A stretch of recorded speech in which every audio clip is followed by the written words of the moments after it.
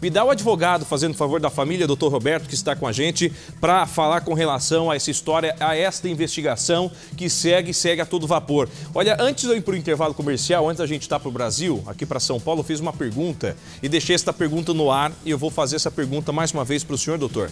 Eu gostaria que o senhor respondesse. É, o Renato Lombardi citou que essa menina ela foi morta, foi encontrada, tá? Foi encontrada é, com, com não com os patins ali nos pés. Os patins estavam ao lado próximo do corpo, corpo, próximo ao corpo, né, Lombardi? Isso. Ela tá com e chinelo. Ela, ela, estava usando chinelo. Isso. O chinelo que ela sai de casa, ela coloca os patins e depois fica com os chinelos na mão. Exatamente. O que leva a investigação a acreditar, eu, também o Renato Lombardi, de que esta menina teria tido um certo conforto no momento que ela foi abordada pelas pessoas que mataram ou que conduziram ela para a morte. Se ela teve esse certo conforto de tirar os patins e colocar esses chinelos, significa, ou pelo menos o advogado, o senhor acredita, a família, que essas pessoas são próximas a ela, pessoas, pessoas que trouxeram este conforto, esta confiança dela tirar esses patins durante uma boa conversa neste carro, durante o trajeto, o caminho que foi é, feito pelos criminosos até a morte, até o corpo ser encontrado, doutor? Sim, Bruno, eu acredito que ela foi uh, entrou no carro, né?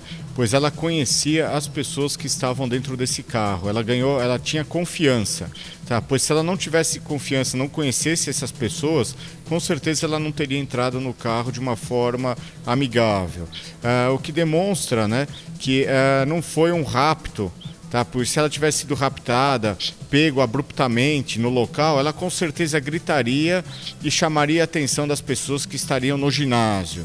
Então isso tudo demonstra, né, que ela foi colocada no carro, tá? De uma forma é, que conhecesse as pessoas e dentro do carro ela retirou os patins e, e, e calçou os chinelos. É porque assim a gente começa a analisar, né, Lombardi, a história, porque ninguém fala para outra. É igual você citou agora há pouco. Ah, viu? Coloca os chinelos, porque eu, eu gosto de matar quando a pessoa está usando ah, chinelo, não patins. Para a pessoa que quer matar, que aborda já com violência, já para não ter chance de reação, ela não chega e pede para tirar os patins ou tirar um determinado calçado. Já chega jogando dentro do carro, ameaçando e pedindo para a pessoa ficar quieta. Ou seja, ela teve tempo de tirar esses patins durante esse caminho. E isso faz, inclusive, a investigação é, caminhar para o lado da premeditação.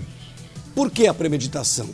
A partir do instante em que você pega, coloca uma, uma criança dentro do carro e já tendo escolhido o local para deixar o corpo, já tendo escolhido o caminho, tira o patins, porque aquele caminho que nós vimos, nós estamos vendo essas imagens, jamais alguém conseguiria entrar de patins ali.